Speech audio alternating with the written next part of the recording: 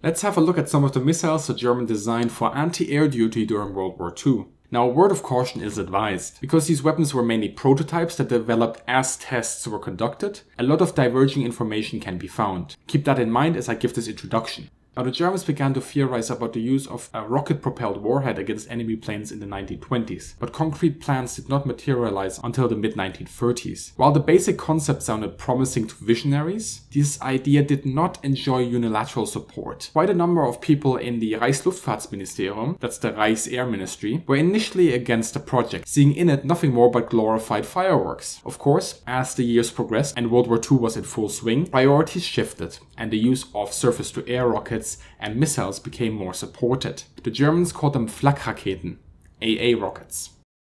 During World War II, quite a number of rockets and missiles were thus developed. Here's a short introduction of some of them. The Germans had the Taifun, literally translating into typhoon. Feuerlilie, that's fire lily. Hecht, which translates to pike, and with that I mean the fish, not the weapon. Rheintochter, translating to daughter of the Rhine. The Rhine, of course, being a river creating a natural border between Germany and France. Schmetterling, butterfly.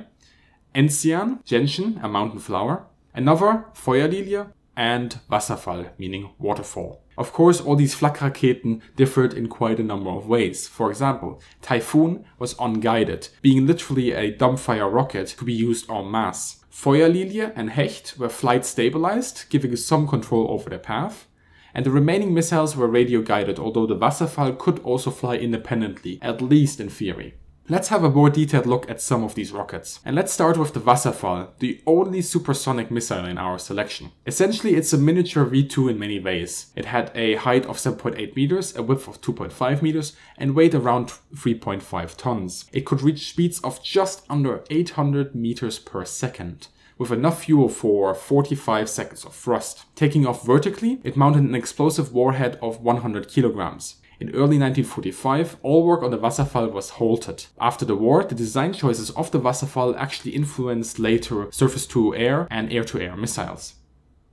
Let's move on to the Rheintochter, the first subsonic missile in the mix. Standing at 6.3 meters and with a width of 3 meters, it was still one of the larger rockets. Weighing 1.75 tons on takeoff, it would be fired off at an angle by using a launch carriage achieving speeds of up to 310 meters per second. Having a thrust duration of 30 seconds, it launches itself at enemy planes with a warhead containing around about 150 kilograms of high explosive content.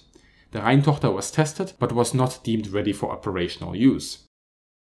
The Schmetterling is probably the most eccentric design. 3.6 meters tall and 2 meters wide, it was a light design with a total weight of 420 kilograms. It would be fired off at an angle, flying for around 50 seconds at up to 210 meters per second. It only carried a 42 kilogram warhead. However, it was probably the most advanced design and was also tested in an air-to-air -air role. Now, it was put on order and was very close to seeing operational service during the war, but the German capitulation put an end to that.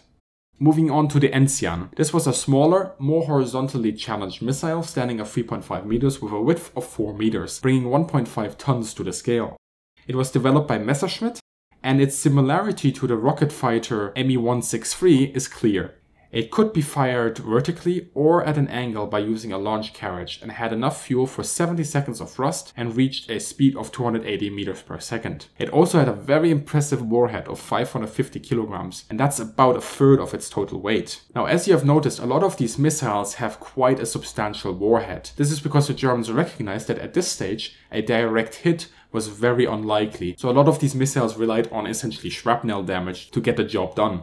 Let us assume that one of these missiles was ready for operational use. This is how the Germans envisioned a battery of the Rheintochter R3 missile. Now you have the Batteriebefehlsstelle, that's a command post including all the computational equipment necessary. Directly attached to it are Ortungsgeräte, those are tracking devices, to locate the enemy bomber squadron. Then you have the Funkmessgerät Ziel and the Funkmessgerät Lenk, that's radar and radio guidance, responsible for actually guiding the missile to the target. Now the command post tracks the enemy planes and eventually sends out the signal Feuer frei to four Rheintochter batteries and they would fire. The batteries were spaced out by around 50 meters and they have a storage facility for more missiles around 40 meters from each of them. The whole battery is thus quite localized.